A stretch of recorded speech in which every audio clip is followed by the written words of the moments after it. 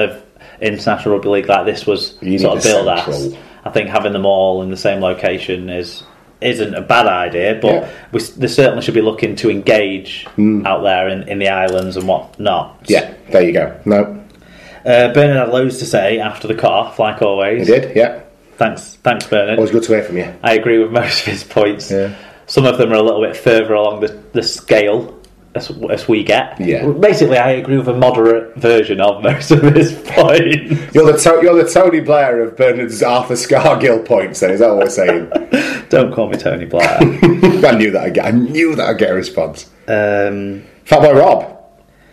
Speaking of politics, really, really briefly, my brother-in-law Michael stood for the Green Party in the county council elections in Fleetwood last week and came a very creditable third. yeah, they picked up um, good numbers Hmm. and still no coverage on the incredulously right wing biased uh, national media. Yes.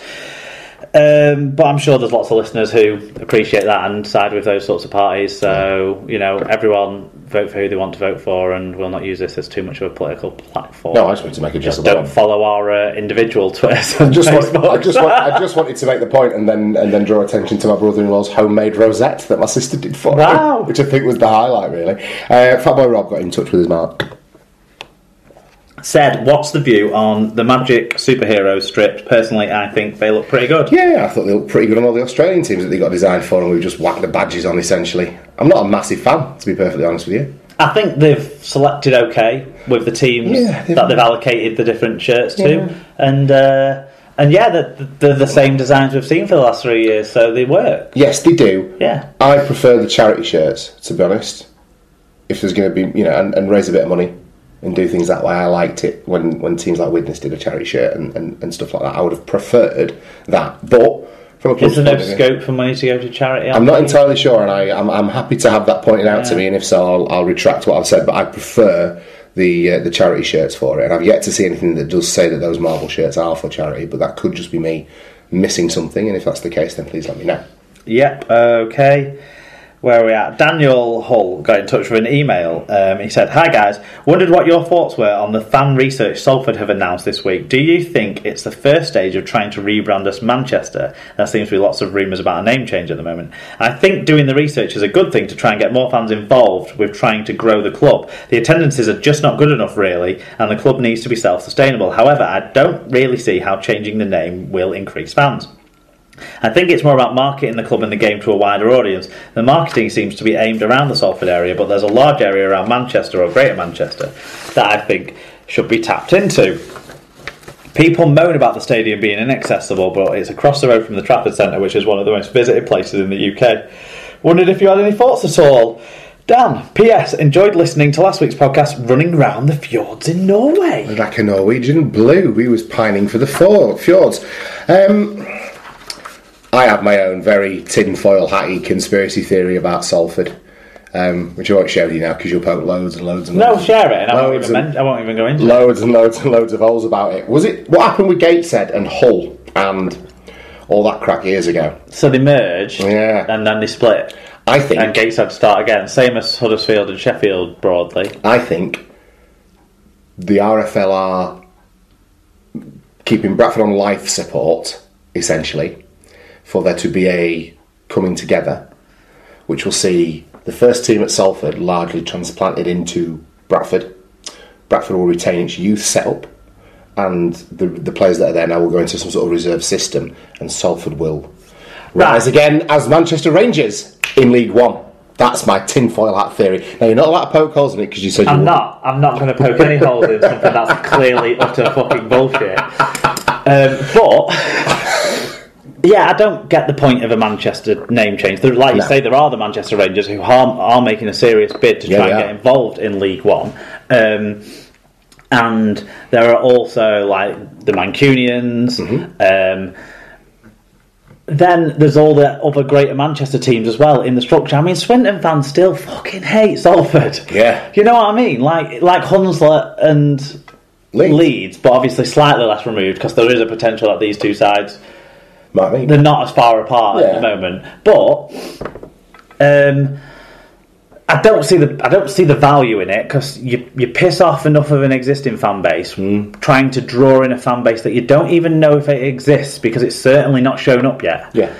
So I don't get that. I think there's lots of fans are really passionate and really doing a lot of work. There's the devil in the detail guys. We know Yeah. what they got. There's our mate Willows Road who's really trying to support the club with their push Big in terms of getting finding people as like champions almost Hmm. for each of the re, the community areas around Salford and getting leaflet done, doors to doors done, whatever, what have you. Mm-hmm. Um, and I think it's a really great undertaking for Salford to do it. I hope they're doing it with a clean slate and not an agenda. Yeah. But I don't think the Salford fans will believe that, even if they were told that straight in the face. Um, but yeah, I, what I can't answer is why they don't get the six and a half thousand they were able to get regularly in the Super League era at the Willows, six and a half, seven and a half thousand. Yeah. Um, when it's not that hard to get to. It's a little bit harder for someone who lived within walking distance of the Willows to get to because they have to get on a fucking bus. Yeah. But in all seriousness, I love how you assume that they all need a bus and they don't have cars.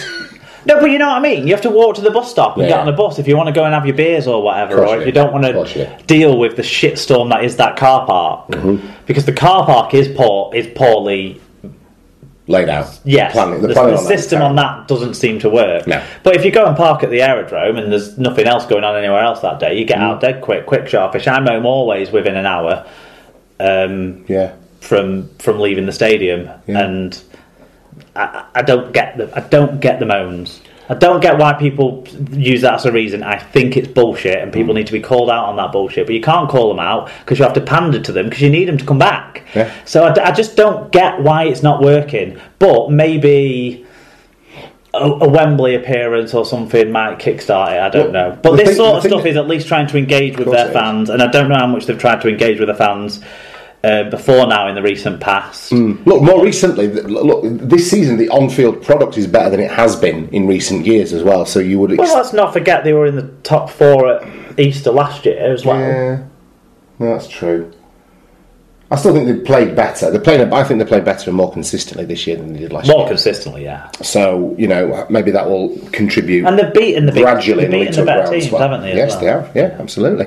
Right, who's the next last? Who's the final person to get in touch? Uh, Alan Walker. At, oh, we've already done that. He sent us a DM on Twitter to say uh, to ask me, but I, I don't know. You can ask us both because I don't have an answer for him. He said, "Are there more injuries in the game? Seems more players are missing, even that even they've banned, even though they've banned the biff, shoulder charges, spear tackles, clotheslines, and other crowd pleasers. no, seriously, is the game getting too fast or too tough?"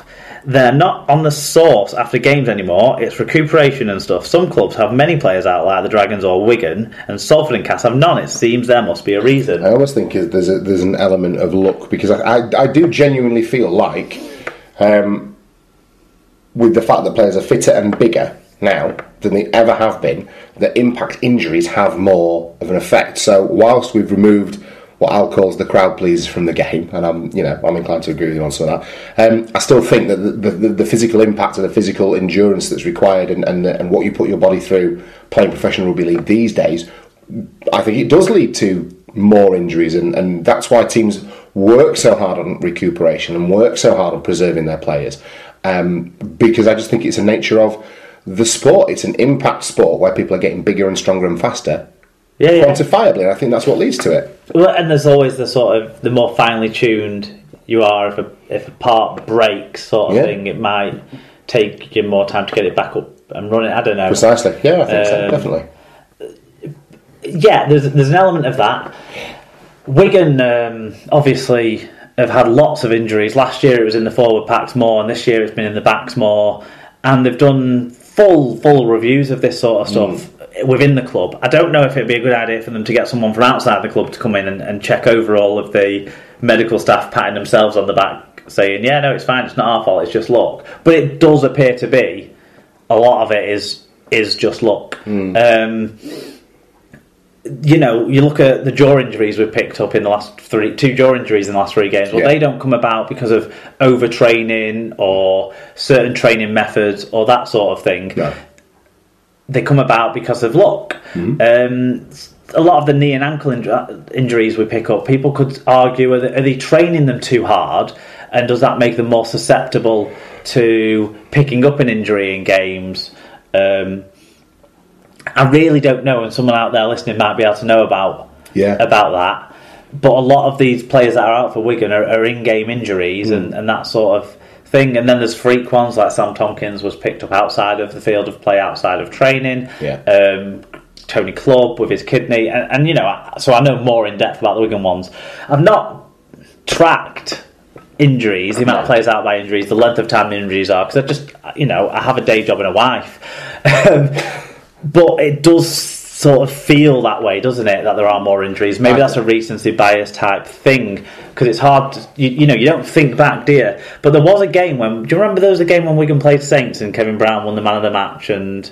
Oh, years ago, yeah. No, he didn't win the man of the match, but Steve said he'd buy him a watch anyway. That all that stuff. Well, Wigan had a shit ton of players out for injury then, and that was fifteen years or twelve years ago. Mm. So But I think 12 years ago falls within the banner of what we're talking about. I think you're talking, I think you need to compare the last 15, 20 years with the 20 years previous to that. I think that Kevin Brown situation and that game that you're referring to actually falls within the boundaries of the advanced sports science, the size of the lads and things like that, right, personally.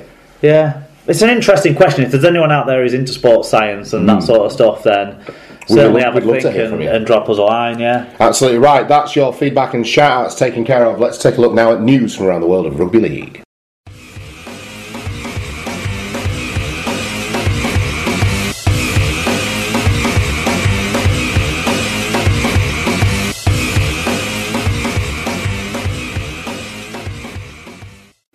Okay, Mark. So to the news then, and we'll start at the AJ Bell, uh, where Salford winger Justin Carney has been given an eight-match ban after being found guilty of racially abusing Toronto Wolfpack player Ryan Bailey. The 28-year-old was sent off by referee Jack Smith in the 26th minute of the Super League club's Challenge Cup fifth round win on the 23rd of April. Carney had been handed a Grade F charge, the most severe category of offence, and an eight-game suspension was the minimum punishment. Carney pleaded guilty to an abuse charge but contested its severity. He served the first game of his ban in the win over Widnes on Sunday, meaning he will miss a further seven games. Salford confirmed in a statement that Carney had pleaded guilty to a charge of misconduct for having given verbal abuse to an opposition player based on race slash colour. However, Salford said that he did not intend his words to be taken in a racial context.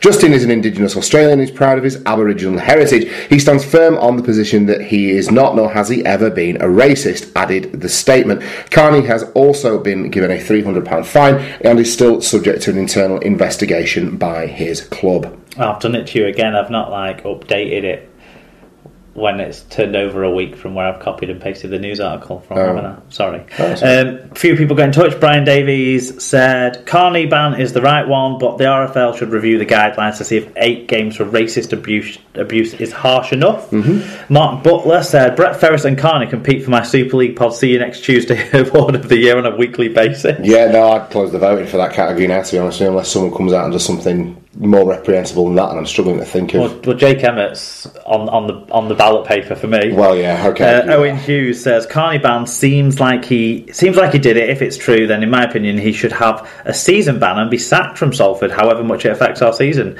Don't want to be harsh, but these guys are role models and need to act as such. Yeah, I say I think Owen's hit the nail on the head there, really. Well, I don't want Look, to sound like I- like an apologist or anything like that for this sort of stuff because I'm certainly not. Yeah. But I don't think Justin Carney is a is a racist, and No, I I don't don't think, think what he racist. said was intended to be, you know, racially aggravated in in any sort of way. I just think he's a bit thick and shouted the first abusive thing that came into his mind and didn't think of the consequences. Now, I'm I'm not one who likes to label sports people as role models. I think we've had this conversation in the past, but I do get the point that they should behave better than what Justin Carney has Yeah. behaved like here.